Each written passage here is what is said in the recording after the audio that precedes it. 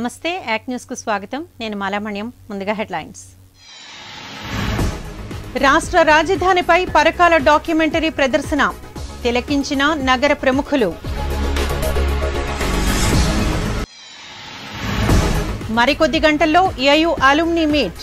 Virtual విధానంలో సమావేశం.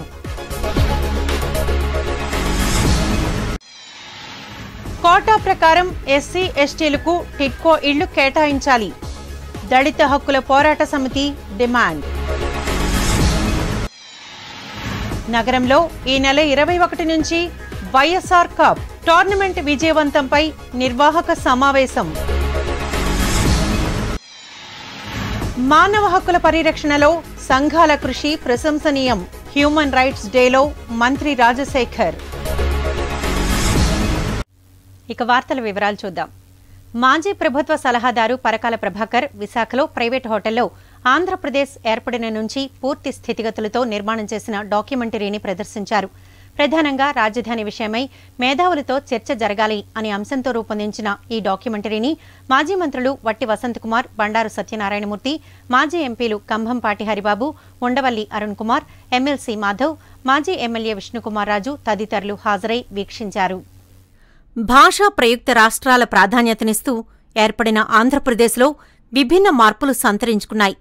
మద్రాసు నుండి తెలుగు రాష్ట్రంగా అవతరించిన తీరు తరువాత పరిణామాలు తెలుగు రాష్ట్రాన్ని తెలంగాణ ఆంధ్రప్రదేశ్గా పార్లమెంటులో తలుపులు వేసి వేరుచేసిన విధానం అనంతరం నవ్యాంధ్రప్రదేశ్లో ఏర్పడిన పరిణామాలు అమరావతిని రాజధానిగా ఏర్పాటు తదితర అనేక అంశాలతో గంట నిడివితో పరకాల ప్రభాకర్ సారథ్యంలో నిర్మాణం చేసిన డాక్యుమెంటరీని విశాఖ బీచ్ తీరంలో ఉన్న ప్రైవేట్ హోటల్లో ప్రదర్శించారు. వివిధ రాజకీయ పార్టీలకు చెందిన నేతలు మేధావులు మీడియా ప్రతినిధులు డాక్యుమెంటరీని తిలకించారు. ప్రధానంగా రాజధాని అమరావతిలో కొనసాగించాలా మూడు రాజధానులు ఏర్పాటు చేయాలా అనే అంశంపై మేధావులతో చర్చ జరగాలని పరకాల ప్రభాకర్ అభిప్రాయపడ్డారు. సౌత్ ఆఫ్రికాలో మూడు రాజధానులు ఫెయిల్ అయిన విషయాన్ని కూడా ప్రస్తావించారు. ఏది ఏమైనప్పటికీ రాజధాని అంశంలో మేధావులంతా చర్చించి త్వరలోనే మంచి అభిప్రాయానికి వస్తారని ఆశిద్దాం. అంటే నా ముందు ప్రధానంగా ఉన్నటువంటి ప్రశ్న ఏంటంటే దేశంలో ఏ రాష్ట్రానికి లేనటువంటి దుస్థితి మనకు ఎందుకు వచ్చింది మనం కొత్త రాష్ట్రంగా ఏర్పడి ఆరు సంవత్సరాలు దాటిపోతుంది. ఆరు ఇన్ని సంవత్సరాలు అయినా కూడా ఇంకా ఇది మన రాజధాని అని చెప్పుకోలేనటువంటి ఒక దుస్థితిలో ఎందుకున్నాం మనం? అమరావతి చుట్టూ ముసురుకున్నటువంటి వివాదం ఏమిటి? దాని పూర్వాపరాలు ఏమిటి? అనే దాని మీద ఒక చర్చ జరగాలి రాష్ట్రంలో. అంటే అసలు అమరావతిని రాజధానిగా ఎంపిక చేయడమే తప్ప ఎంపిక చేసినటువంటి ప్రక్రియలో దోషం ఉందా? ఇంత భూమి కావాలి అనుకోవడం తప్ప ఆ భూమిని సమీకరించినటువంటి విధానంలో తప్పు ఉందా పర్యావరణం దృష్ట్యా ఏం అభ్యంతరాలు ఉన్నాయి? అక్కడ ఉన్న అక్రమ భూదందా జరిగిందా? అందుకోసం మారుస్తున్నారా? లేదు పరిపాలన సౌలభ్యం కోసం మారుస్తున్నారా? అది సమర్థనీయమేనా? ఇవన్నీ కూడా ఒక చోటకి తీసుకొచ్చి దాని మీద ఒక ఫోకస్ పెట్టి ఆంధ్రప్రదేశ్ పౌర సమాజంలో ఒక చర్చ జరగాలి అనేటటువంటి ధ్యేయంతో ఇది తీశాను.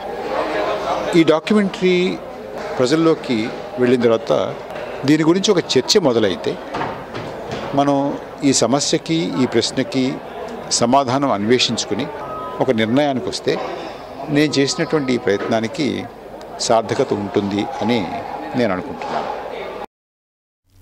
ఆంధ్ర విశ్వవిద్యాలయం వ్యవస్థాపక ఉపకులపతి సిఆర్ రెడ్డి జయంతిని పురస్కరించుకుని నిర్వహించనున్న పూర్వ విద్యార్థుల వార్షిక సమ్మేళనం వేవ్స్ ట్వంటీ ట్వంటీ ఈ సాయంత్రం మూడు గంటల నుంచి వర్చువల్ విధానంలో నిర్వహించనున్నారు. ముఖ్య అతిథిగా కేంద్ర పర్యావరణ శాఖ మంత్రి ప్రకాష్ జావదేకర్ పాల్గొని ప్రసంగిస్తారు. మధ్యాహ్నం మూడు నుంచి నాలుగు గంటల వరకు పూర్వ విద్యార్థుల సమ్మేళనం సాయంత్రం నాలుగు నుంచి నాలుగున్నర వరకు ప్రధాన సమావేశం జరుగుతాయి. కోవిడ్ నేపథ్యంలో డిజిటల్ విధానంలో జూమ్ యూట్యూబ్లో ఈ సమ్మేళనాన్ని ప్రత్యక్ష ప్రసారం చేస్తారు.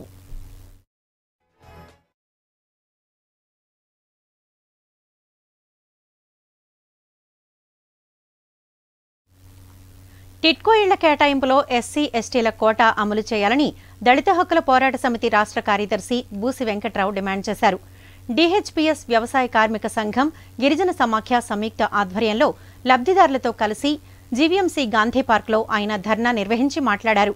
టిట్కో ఇళ్ళ కేటాయింపులో కోటా నిబంధనలు అమలు చేయడంతో పాటు రాయితీలను వర్తింపచేయాలని డిమాండ్ చేశారు. టిట్కో ఇళ్ళకు మౌలిక సదుపాయాలు కల్పించి డిసెంబర్ ఇరవై ఐదున లబ్ధిదారులకు ఇళ్ళు కేటాయించాలని కూడా డిమాండ్ చేశారు. టిట్కోయిలలో మౌలిక సదుపాయాలు కల్పించాలి టిట్కోయిలను కేటాయించాలి టిట్కోయిలు కేటాయింపుల రిజర్వేషన్లు అమలు చేయాలి. కేటాయింపుల రిజర్వేషన్లు రాజ్యాంగంలో ఆర్టికల్ ముప్పై ఎనిమిది నలభై ఆరు ప్రకారం అణగారిన వర్గాలకు సంక్షేమ అభివృద్ధి విద్యా పథకాలలో తగిన శాతంలో రిజర్వేషన్ కల్పించాలని చెప్పి చట్టం చెబుతుంది. కానీ ఈ మధ్యకాలంలో ప్రభుత్వం ప్రకటించే ఏ పథకంలో కూడా ఆ రిజర్వేషన్లు అమలు జరపట్లేదు. మరి ముఖ్యంగా టిడ్కో ఇళ్ళకు సంబంధించి రాష్ట్రంలో రెండు లక్షల అరవై వేల ఇల్లుని ప్రభుత్వం రేపు ఇరవై ఐదవ తారీఖున ఇవ్వబోతా ఉంది. చట్ట ప్రకారం మాకు ఎస్సీలకి నలభై ఒక్క వేలు ఎస్టీలకి పద్దెనిమిది వేలు ఇల్లు ఇవ్వాలి. కానీ ఆ లిస్టులో ఎంతమంది ఎస్సీ ఎస్టీలు ఉన్నారంటే కనీసం ప్రభుత్వం దగ్గర సమాచారం కూడా లేనటువంటి దుస్థితి ఉంది. ఇవాళ మేము డిమాండ్ చేస్తూ ఉన్నాం. టిట్కోయిలలో మా ఓటా మాకు ఇవ్వాలి. రెండవ అంశం దీంట్లో మూడు రకాలు ఉన్నాయి. ఒక రకానికి సంబంధించి ప్రభుత్వం ఇచ్చేటువంటి బ్యాంకు రుణం మూడు లక్షలు ప్రభుత్వమే భరిస్తానని చెప్తుంది. ఇక టైప్ టూకి సంబంధించి మూడు లక్షల ముప్పై వేలు టైప్ త్రీకి సంబంధించి మూడు లక్షల అరవై ఐదు వేలు. ఇది లబ్ధిదారుడు బ్యాంకు రుణం కట్టాలి. ఇవాళ ఎస్సీ ఎస్టీ సప్లా నిధులు ప్రభుత్వం దగ్గర ఏడు వేల ఐదు వందల కోట్లు ఉన్నాయి. ఆ డబ్బుల్లోంచి తీసుకొచ్చి మేము కట్టాల్సిన రుణానికి యాభై శాతం రాయితీ ఇవ్వాలని చెప్పి మేము అడుగుతూ ఉన్నాం. రాష్ట్ర ముఖ్యమంత్రి జగన్మోహన్ రెడ్డి పుట్టినరోజు సందర్భంగా నగరంలో YSR cup twenty twenty cricket match ఈ నెల ఇరవై ఒకటి నుంచి వచ్చే నెల పది వరకు నగరంలోని అన్ని వార్డుల్లో జరగనుంది. ఒక్కో వార్డు నుంచి మూడు జట్లు ఈ టోర్నమెంటులో తలపడనున్నాయి. దాదాపు నాలుగు వందల మంది క్రీడాకారులు పద్నాలుగు రోజుల పాటు తమ నైపుణ్యాన్ని ప్రదర్శించనున్నారు. ఈ టోర్నమెంట్ ప్రశాంతంగా జరిగేలా తీసుకోవాల్సిన జాగ్రత్తలపై ఏయూ సెనేట్ హాల్లో ఉపకులపతి ప్రసాద్ రెడ్డి అధ్యక్షతన సమావేశం జరిగింది. ఇందులో వైసీపీ నాయకులు టోర్నమెంట్ నిర్వాహకులకు వీసీ ప్రసాద్ రెడ్డి పలు సూచనలు చేశారు. సమావేశంలో MLA Amar registrar Krishnamohan YCP నగరాధ్యక్షుడు Vamsikrishna Srinivas Yadav మాజీ ఎమ్మెల్యే మల్ల విజయప్రసాద్ తదితరులు పాల్గొన్నారు. Heavy prize money okay Pendurthi ఓ కేవలం ఎయిట్ టీమ్స్ ఎయిటీ టీమ్స్ ఉండాలి minimum forty we are starting okay the event on twenty first ఇది టోటల్గా ఫోర్టీన్ డేస్ రన్ అవుతుందండి మ్యాచెస్ ఇంకా నాలుగు వందలు మంది ఆడతారు కాబట్టి. సో మీ పర్టికులర్ పూల్ ఆ పర్టికులర్ గ్రౌండ్లో స్పెసిఫిక్ టైంకి మీరు అక్కడికి వెళ్ళటం అనేది మోస్ట్ ఇంపార్టెంట్ థింగ్ ఎందుకంటే అదొక భరోసా. మా మా మా మా మా రిప్రజెంటేటివ్ మా దగ్గరికి వచ్చారు అనేటువంటి ఒక భరోసా కాబట్టి అది first my request to you from Andhra university is that all of you okay please okay go to those okay pool grounds same time every day so that అంటే ఈ టైంకి మీరు వస్తారు అనేది ఉంటుంది సెకండ్ థింగ్ క్రికెట్ అందులోనూ దీంట్లో heavy prizes ఉన్నాయి కాబట్టి ఎవ్రీ పాసిబిలిటీ ఉంది డిస్ప్యూట్స్ రావడానికి.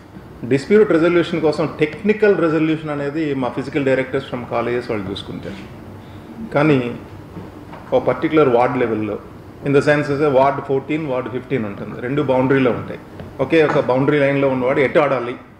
అంటే ఆ- వార్డ్ బౌండరీలో ఉన్నవాడు ఫోర్టీన్కి చెందుతాడా ఫిఫ్టీన్కి చెందుతాడా? ఏదైనా డిస్ప్యూట్ రావచ్చు. లేదంటే ఒక పర్టికులర్ మెంబర్ రెండు మూడు చోట్ల ఆడేస్తున్నాడేమో. అంటే మీద ఆధార్తో మేము అన్ని వెరిఫై చేసి అంతా కూడా కంప్లీట్ ఎలిమినేట్ చేస్తాం. కానీ అటువంటి డిస్ప్యూట్స్ తలెత్తకుండా గేమ్ని స్పోర్టివ్గా తీసుకెళ్ళాలంటే కనుక దానికి డెఫినెట్గా మీ అసిస్టెన్స్ చాలా చాలా important and without your assistance నేను అనుకోవటం ఈ గేమ్ గేమ్లో రన్ అవ్వదు కాబట్టి my sincere request to all my public representatives ఏంటంటే గేమ్ స్పోర్టివ్గా ఉండడానికి కావాల్సినటువంటి ఒక సపోర్ట్ సిస్టమ్ మీరే అక్కడ ఒక మనిషిని. అంటే మీ తాలూకా మనిషిని ఒక మనిషిని అక్కడ పెట్టినట్లయితే ఏదన్నా డిస్ప్యూట్ వచ్చినప్పుడు dispute resolution otherwise dispute resolution అంటే వార్డ్ లెవెల్ డిస్ప్యూట్ రెజల్యూషన్ ఉంటే మీరు చేయాలి. టెక్నికల్ రెజల్యూషన్ మా sports department they will take care ప్రపంచ మానవ హక్కుల దినోత్సవం సందర్భంగా నగరానికి చెందిన హ్యూమన్ రైట్స్ కౌన్సిల్ ఓ హోటల్లో సమావేశం నిర్వహించింది. కౌన్సిల్ ప్రతినిధి మంత్రి శ్యాంప్రసాద్ అధ్యక్షతన ఈ కార్యక్రమం జరిగింది. వైఎస్సార్ కాంగ్రెస్ పార్టీ నాయకులు మంత్రి రాజశేఖర్ పాల్గొని మాట్లాడారు. ప్రభుత్వాలు ఎన్ని చట్టాలు తీసుకొస్తున్నా పగడ్బందీ చర్యలు చేపడుతున్నప్పటికీ మానవ హక్కుల ఉల్లంఘన జరుగుతుండటం బాధాకరమన్నారు. వీటి పరిరక్షణకు మానవ హక్కుల సంఘం చేస్తున్న కృషిని ప్రశంసించారు. మంత్రి శ్యాంప్రసాద్ మాట్లాడుతూ కొన్ని వర్గాల ప్రజలు జీవించే హక్కును ఉపాధి పొందే హక్కును కోల్పోతున్నారని తెలిపారు. వారికి జరుగుతున్న అన్యాయాన్ని హక్కుల ఉల్లంఘనను ప్రభుత్వాలు న్యాయస్థానాల దృష్టికి తీసుకువెళ్ళి వారికి తగు న్యాయం జరిగేలా హ్యూమన్ రైట్స్ కౌన్సిల్ ఇతోధిక కృషి చేస్తోందని తెలిపారు. ఈ సమాజంలో అనేక రకాలుగా ఇంకా వేధింపులు అనేది మహిళల మీద కాకుండా అన్ని వర్గాల మీద కూడా ఇంకా జరుగుతున్నాయి. ప్రభుత్వాలు కొన్ని చర్యలు తీసుకుంటున్నప్పుడు కూడా సమాజంలో రకరకాలటువంటి ఈ సాధనాలతో లేకపోతే అనేక రకాలటువంటి దీంతో మరి కొన్ని వేధింపులు అనేది ఎక్కువ ఉన్నాయి. ఆ వేధింపులన్నీ అరికట్టడానికి వీరందరూ కూడా ప్రయత్నం చేస్తున్నారు. ఈరోజు ఒక పక్క ఈ ఒక సరి హ్యూమన్ హ్యూమన్ రైట్స్ వైలేషన్స్ అంటే ఈక్వల్ వేజ్ ఈక్వల్ రైట్స్ లేకపోవడం కానివ్వండి లేకపోతే స్త్రీలకు సమాన హక్కు రాకపోవడం కానివ్వండి లేకపోతే ఉన్నటువంటి సమాజంలో ఉన్నటువంటి ప్రతి ఒక్కరూ కూడా మహిళల్ని కించపరచడం కానీ ఈ స్వేచ్ఛకి వారి తాలూకా గౌరవానికి భంగం కలిగే కార్యక్రమాలు జరుగుతున్నాయి. వాటన్నిటి మీద హ్యూమన్ రైట్స్ కౌన్సిల్ దృష్టి పెట్టాలని అలాగే ప్రధానంగా ఎడ్యుకేషను హెల్త్ వీటి మీద బాగా కాన్సన్ట్రేట్ చేసి ప్రభుత్వాలు ఏదైతే రాయితీలు ఇస్తున్నాయో ఆ రాయితీలన్నీ సక్రమంగా కింద ఉన్నటువంటి అన్ని వర్గాలకు కూడా సముచితంగా అందే విధంగా వారు పనిచేయాలని రాజకీయాలకు అతీతంగా చేసేటువంటి హ్యూమన్ రైట్స్ కౌన్సిల్ చేస్తున్న కార్యక్రమాలు. ఈరోజు హ్యూమన్ రైట్స్ గురించి ప్రతి చోట ప్రతి ప్రాంతంలో కూడా మాట్లాడుతున్నారు. అయితే తీసుకునే చర్యలు చాలా తక్కువ ఉంటున్నాయి. మానవ హక్కుల గురించి ప్రజల్లోకి తీసుకువెళ్ళి హక్కులు ఏ విధంగా కాపాడాలి మనం తాగే తాగునీరు కానీ లేకపోతే జీవించే హక్కు అయినటువంటి నివాస హక్కు కానీ లేకపోతే ఉపాధి హక్కు కానీ ఇలాంటివన్నీ కూడా ఏ విధంగా ఎంతవరకు ప్రజలకు వెళ్తున్నాయి వాటిని కోల్పోతున్న వాళ్ళు ఏ విధంగా వాళ్ళ హక్కులు కోల్పోతున్నారు ఏ విధంగా ఉల్లంఘనలు జరుగుతున్నాయి ఇలాంటివన్నింటినీ మేము గుర్తించి ప్రభుత్వం దృష్టికి తీసుకెళ్ళడం న్యాయస్థానాల దృష్టికి తీసుకెళ్ళడం చేస్తున్నాం. యువత ఉపాధి అవకాశాలను అందిపుచ్చుకోవాలని సామాజికవేత్త మారిశెట్టి రాఘవయ్య పిలుపునిచ్చారు. డాబా గార్డెన్స్ విజేఎఫ్ ప్రెస్ క్లబ్లో నెక్స్ట్ జెన్ సంస్థ ఏర్పాటు చేసిన మీడియా సమావేశంలో ఆయన మాట్లాడారు. కేంద్ర ప్రభుత్వ పథకాలు రాయితీల పట్ల అవగాహన పెంచుకుని వాటిని సద్వినియోగం చేసుకోవడం ద్వారా యువత సొంతంగా ఉపాధి పొందడమే కాకుండా మరికొందరికి ఉపాధిని కల్పించేలా ఎదగొచ్చని అందుకు సరైన మార్గదర్శనం అవసరమని పేర్కొన్నారు. ఈ నెల పన్నెండున సరిపల్లి భాష్యం స్కూల్ మైదానంలో బిజ్కాన్ ట్వంటీ ట్వంటీ పేరిట ఔత్సాహిక పారిశ్రామికవేత్తల సదస్సును నిర్వహిస్తున్నట్లు చెప్పారు. యువతకి ఉపాధి కల్పించే మార్గంగా యువత స్వయం ఉపాధి దిశగా అడుగులు వేయటానికి కావలసిన ప్రయత్నం చేస్తూ ఉన్నాం. ఈ ఈ దేశంలో ఇప్పుడు యువత పర్సంటేజ్ చాలా ఎక్కువగా ఉంది. సిక్స్టీ పర్సెంట్ పైగా యువత ఉన్నారు. ఇంత పర్సంటేజ్ యువతకి ఏ రాష్ట్ర ప్రభుత్వం కానీ ఏ కేంద్ర ప్రభుత్వం కానీ ప్రైవేట్ రంగాలు కానీ ఇంత యువతకి ఉద్యోగ అవకాశాలు కల్పించే పరిస్థితి మన దేశంలో లేదు.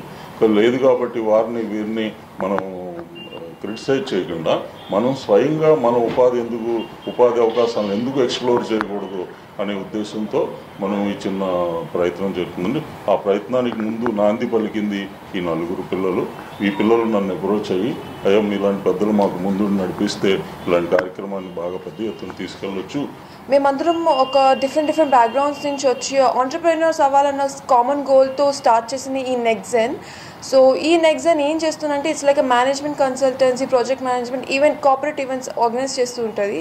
సో మేము ఒక వెరీ బేసిక్ ఎమ్యూనిటీస్తో స్టార్ట్ అయిన ఈ స్టార్టప్ టు బికమ్ ఆంటర్ప్రెన్యూర్స్ అలాగ మా ఓన్గా like we have our bylaws మేము పని చేస్తే దాని తగ్గట్టే ఎర్న్ చేసుకుంటాం దాని తగ్గట్టే మేము స్పెండ్ చేసుకుంటాం. సో ఈ యొక్క క్వాలిటీస్ చాలామందికి ఈ మధ్య ఉండట్లేదు. సో వాళ్ళు చేసిన దానికన్నా ఎక్కువ ఎక్స్పెక్ట్ చేయడం లేకపోతే ప్రాపర్గా వర్క్ చేయకపోవడం. సో ఇవన్నీ వస్తుంది కాదా? సో వాళ్ళకి ఒక ప్రాపర్ డిసిప్లిన్ ఎథిక్స్ అన్నీ కూడా ఇంపార్టెంట్ ఒక ఆంటర్ప్రినర్ అవ్వాలి అని చెప్పి మేము ఎలా నేర్చుకుంటున్నామో మాకు ఎలాగ చాలామంది సపోర్ట్ చేసి ఒక ప్లాట్ఫామ్ ఇస్తున్నారు. మేము మాలాగే చాలామంది నేర్చుకొని మమ్మల్ని మమ్- మమ్మల్ని ఎగ్జాంపుల్గా తీసుకొని దేనికి స్టా మధ్యలో స్టాప్ అవ్వకుండా ఏ హర్డల్స్ ఫేస్ చేయకుండా హర్డల్స్ కూడా సొల్యూషన్స్ ఉంటాయి. ఆ సొల్యూషన్స్ ఏంటి? Most of the time financial solutions కానీ లోన్స్ కానీ లీగల్ ఇవన్నీ కూడా మేము ఆ రోజు Biscon event which is called as the business connection ఈ కనెక్షన్ నెట్వర్క్ ప్రొవైడ్ చేయాలి వాళ్ళకని చెప్పి ఈవెంట్ కండక్ట్ చేస్తున్నాం. వైఎస్ఆర్ యువజన కాంగ్రెస్ రాష్ట్ర ప్రధాన కార్యదర్శి గేదెల నాగరాజు బర్త్డే సందర్భంగా చినవాల్తేర్ విశాఖ ఐ హాస్పిటల్ సమీపంలో రక్తదాన శిబిరం ఏర్పాటు చేశారు. బర్త్డే కేక్ కట్ చేసి పలువురు నాగరాజుకు శుభాకాంక్షలు తెలిపారు. అనంతరం ఇండియన్ రెడ్ క్రాస్ సొసైటీ సహకారంతో ఏర్పాటు చేసిన రక్తదాన శిబిరంలో పలువురు స్వచ్ఛందంగా రక్తదానం చేశారు.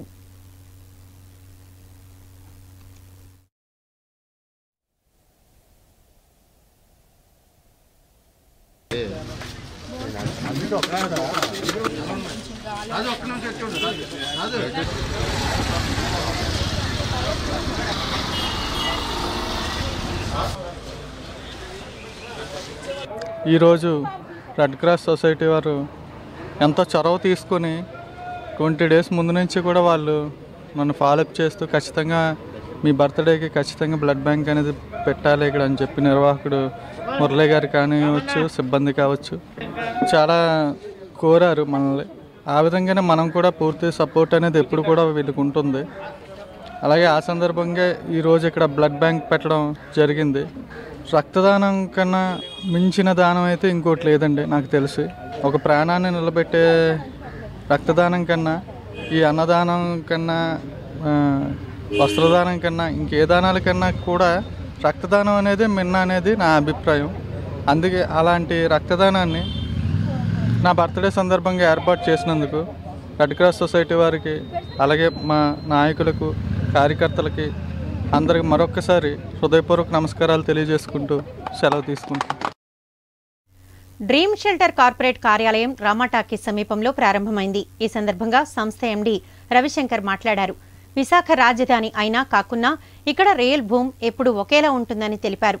ఇక్కడి ఉద్యోగుల్లో ఎనభై శాతం మంది కేంద్ర రాష్ట్ర ప్రభుత్వ ఉద్యోగులే ఉన్నారని అందువల్ల వీరు స్థలం మీదే ఎక్కువ పెట్టుబడి పెట్టేందుకు ఆసక్తి చూపిస్తున్నారని అందుకే ఇక్కడ రియల్ ఎస్టేట్ వ్యాపారానికి అనువైన పరిస్థితులు ఉన్నట్లు తెలిపారు.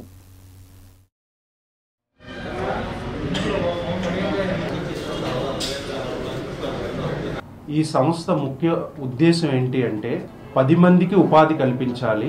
ఒక సామాన్య మానవుడు తన జీవితంలో కొనుక్కున్న రెండు ప్లాట్లో మూడు ప్లాట్లను సెక్యూరిటీగా అందించి వాళ్ళ బ్లెస్సింగ్స్ మాకు మా కుటుంబాలకు ఉండాలి. ఈ సంస్థ తాలూకా ముఖ్య ఉద్దేశం. లీగల్గా అన్నీ బాగుండాలి. ఎప్రిషియేషన్ వచ్చే లొకేషన్స్నే మనం ఎంచుకుంటాం. ఆనందపురం అని సింహాచలం కానీ భోగాపురం కానీ చాలా ఫాస్ట్గా గ్రో అవుతుంది. రాజధాని వచ్చినా రాపోయినా విశాఖపట్నం ప్రతి సంవత్సరం రేట్లు చాలా తేడా వస్తాయి. సో ఈ ఎంప్లాయీస్ ఎప్పుడు కూడా తన ఇన్వెస్ట్మెంట్ని భూమి మీద పెడతారు. సో గ్రాడ్యువల్గా గ్రోత్ అనేది ఎప్పుడూ ఉంటుంది. మనకి భూమిని బట్టి పెరగడం తగ్గడం అనేది విశాఖపట్నంకు ఉండదు.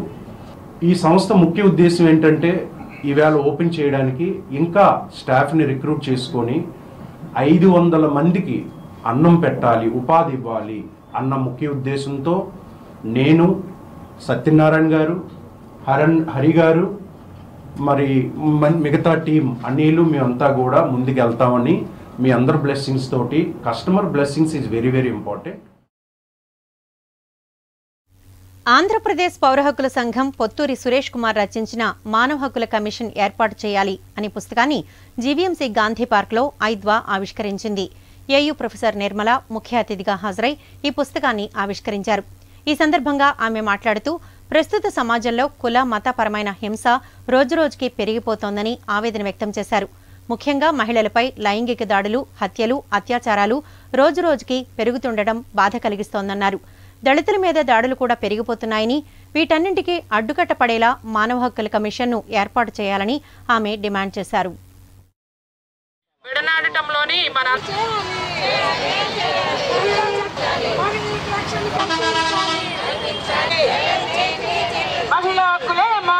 రాష్ట్ర మానవ హక్కుల సంఘం వారు ఏంటంటే పుత్తూరు సురేష్ కుమార్ గారని ఆయన రాసిన మానవ హక్కుల గురించి ఒక అవగాహన కల్పించడానికి అదేవిధంగా ఏంటంటే ఇక్కడ స్టేట్ హ్యూమన్ రైట్స్ కమిషన్ని ఎస్టాబ్లిష్ చేయాలని తీసుకురావాల్సిన ఆవశ్యకత ఎంతైనా ఉందని మన రాష్ట్రం ఒక నాలుగు రాష్ట్రాల్లో లేదు ఇరవై ఆరు రాష్ట్రాల్లో ఉంది. దాన్ని అట్లీస్ట్ కొంచెమైనా అవే అవి ఉన్నాయి కానీ మన రాష్ట్రంలో ఏంటంటే లేకపోవడం అనేది చాలా దురదృష్టకరం. అట్లీస్ట్ ఉన్నట్టయితే కనుక ఈ సంఘాలన్నీ కూడా వెళ్ళి ఎవరికైనా అన్యాయం జరిగిన మానవ హక్కులు ఉల్లంఘనప్పుడు వెళ్ళ వెళ్ళడానికి ఆస్కారం ఉంటుంది. అదేవిధంగా ఇప్పుడు ప్రపంచవ్యాప్తంగా మన దేశంలో కూడా చూసుకున్నప్పుడు ఆడవారి మీద హింస చాలా పెరిగిపోయింది. కులం పేరుతో తర్వాత అదేవిధంగా మతం పేరుతో జరిగే ఈ హింసని విడనాడాలని దాన్ని ఎదుర్కోవాలని చెప్పి మేము పిలుపు ఐదో తరఫున పిలుపు ఇవ్వడం జరిగింది. అదేవిధంగా మనం చూస్తున్నాం ఏంటంటే కార్మిక చట్టాలు కూడా అణిచివేయబడుతున్నాయి రైతు హక్కులు. సో వీటన్నిటికీ కూడా మహిళలు కార్మికులు రైతులు అన్ని అడగ మిగతా అణగారిన వర్గాలు ఎస్పెషలీ దళితుల మీద హింస అనేది బాగా విపరీతంగా పెరిగిపోయింది. జీవీఎంసీ ఎనభై తొమ్మిది వార్డు ఎల్లపువానిపాలెంలో గౌరీ పరమేశ్వరుల ఉత్సవాలు ఘనంగా జరుగుతున్నాయి. ఉత్సవాలలో భాగంగా అమ్మవారి సారి ఊరేగింపు వైభవంగా నిర్వహించారు. గౌరీ పరమేశ్వరుల అమ్మవారిని ఆడపడుచుగా భావించి సారీ సమర్పించడం ఆనవాయితీగా వస్తోంది. శ్రీ గౌరీ యోజన సేవా సంఘం ఆధ్వర్యంలో జరిగిన ఈ కార్యక్రమంలో మహిళలు పిండి వంటలు స్వీట్లు పండ్లు సారిగా తీసుకువచ్చి అమ్మవారికి సమర్పించారు. ఏటా గౌరీ పరమేశ్వరుల ఉత్సవాలను ఘనంగా నిర్వహిస్తున్నామని సంఘం ప్రతినిధులు తెలిపారు. ఈ నెల పన్నెండున అమ్మవారి ఊరేగింపు అనుపు ఉత్సవాన్ని వైభవంగా నిర్వహిస్తామని చెప్పారు. భక్తులు పాల్గొని గౌరీ పరమేశ్వర్ల కృపకు పాత్రులు కావాలని ఆకాంక్షించారు. శ్రీ గౌరీ యోజన సేవా సంఘం వారి ఆధ్వర్యంలో శ్రీ గౌరీ పరమేశ్వర్ల ఉత్సవాలు ప్రతి సంవత్సరం కూడా ఘనంగా జరుగుతుంటాయి. అలాగే గత పాతిక సంవత్సరాల నుంచి ఇదే గౌరీ పరమేశ్వర్ల ఉత్సవాలు చేస్తున్నాం. అలాగే ఈరోజు ప్రత్యేకం ఏంటంటే శ్రీ గౌరీ పరమేశ్వరుల అమ్మవారికి మా ఇంటి ఆడపిల్ల ప్రకారంగాను సారిని తీసుకొచ్చి అమ్మవారికి ఆ వచ్చే స్వీట్ని రేపు రేపు ఒక అన్న సందర్భం జరుగుతుంది. ఈ యొక్క అన్న సందర్భంలోనే ప్రతి వచ్చిన అన్న సమారాధనకు వచ్చిన ప్రతి భక్తుడికి కూడా ఈ యొక్క స్వీట్ని మేము పెట్టడం ప్రసాదంగా పెట్టడం జరుగుతుంది. అలాగే రేపు శనివారం నాడు సాయంత్రం ఆరు గంటల నుంచి అమ్మవారి ఊరేగింపు కార్యక్రమం జరుగుతుంది. పన్నెండవ తారీఖుని సాయంత్రం ఆరు గంటలకి ఈ యొక్క అమ్మవారి ఊరేగింపు కార్యక్రమం అను కార్యక్రమం చాలా ఘనంగా జరుగుతుంది. మా యొక్క ఎలపవనపాలెం గ్రామం మొత్తం కూడా చాలా అద్భుతంగా ఈ యొక్క అమ్మవారి ఊరేగింపుని కానీ అందరూ కూడా భక్త జనాలు అందరూ కూడా చాలామంది ఎక్కువ జ- ఎక్కువ జనాభా కూడా వస్తారు. ఏమండి గైరమ్మకి ఇరవై ఐదు సంవత్సరాల నుంచి ఘనంగా మా ఇంటి ఆడపిల్లకి వెళ్ళిన సారి వెళ్తుందండి. ప్రతి ఒక్క మహిళ పట్టుకొచ్చి ఊరంతా మా గ్రామ ప్రజల ద్వారా ఊరంతా తిరిగి సారంతా రేపు అమ్మవారు అన్నసం తరపు అవుతుంది అక్కడ పెడుతున్నాం. అమ్మవారికి మొక్కుకున్న మూలంగా మా ఇంటి ఆడపిల్లలకి అన్ని శుభకార్యాలు జరుగుతున్నాం మా ఇంట్లో మగవాళ్ళకి ఉద్యోగాలు వస్తాయి ఇల్లులు కట్టుకున్నాం వాకాలు కట్టుకున్నాం. ఇలా ప్రతి సంవత్సరం ఇలా ఊరంపి ఊరంతా అభివృద్ధి చెందాలని మా సంతోష నగర్ మా ఎలపవానిపాలెం రోజు రోజు దినభివృద్ధి చెందుతుంది. అలాగే అమ్మవారి ఆశీస్సులు ఉండి ప్రతి ఒక్కరు ఆయుర ఆరుగా అష్టైతో సుఖతో తొగాలని నేను ఇసుకతోట శ్రీ రామాలయంలో కొలువుదీరిన ఆంజనేయ స్వామికి నగరానికి చెందిన వేపాడ చిరంజీవిరావు నివేదిత దంపతులు కేజీనర వెండితో రూపొందించిన కవచాన్ని బహూకరించారు. శ్రీ సీతారామ సేవా మండలి ఆధ్వర్యంలో వీరు స్వామివారికి కవచాన్ని బహూకరించి మాట్లాడారు. పంతొమ్మిది వందల తొంభై ఆరు నుంచి ఈ ఆలయ దర్శనానికి వస్తుండేవారమని ఇక్కడ దేవతామూర్తుల అనుగ్రహంతో తమ దంపతులిద్దరికీ లెక్చరర్ పోస్టులు వచ్చినట్లు తెలిపారు. కొంచెం లోపలికి వెళ్ళిపోతుంది ఫ్రీ అయిపోతుంది. బాగానే సెట్ అయిపోతుంది. కదలట్లేదు కాదే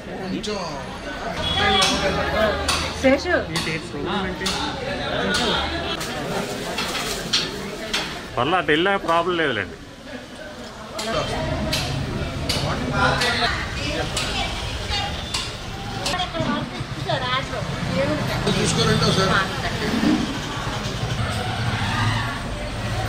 తొంభై ఆరో సంవత్సరం నుంచి తెలుసండి. మొదటిసారిగా వైజాగ్ వచ్చాము.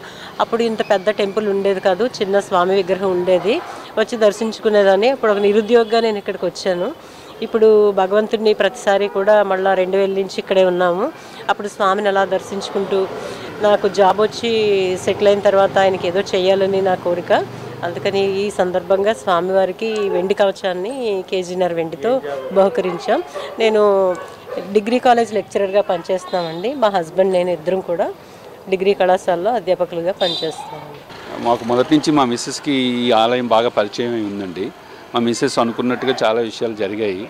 నాకు కూడా అనుకున్న విషయాలు మంచిగా జరిగాయని చెప్పి సెంటిమెంట్గా ఇక్కడికి వచ్చి ఆ స్వామివారికి ఏదో మా మా శక్తి స్థాయి కొద్దీ ఆ విగ్రహాన్ని ఆ వెండి కవచాన్ని అందిస్తున్నామండి. కేజీన్నర వెండితో చేయించామండి. తరుగు మజూరి అంతా కలిసి లక్ష ఇరవై వేలకు లక్ష ఇరవై వేల రూపాయలు ఖర్చు అయిందండి. బులెటిన్ ముగించే ముందు హెడ్లైన్స్ మరోసారి. రాష్ట్ర రాజధానిపై పరకాల డాక్యుమెంటరీ ప్రదర్శన తిలకించిన నగర ప్రముఖులు. మరికొద్ది గంటల్లో ఏయు అలుమ్ని మీట్ వర్చువల్ విధానంలో సమావేశం.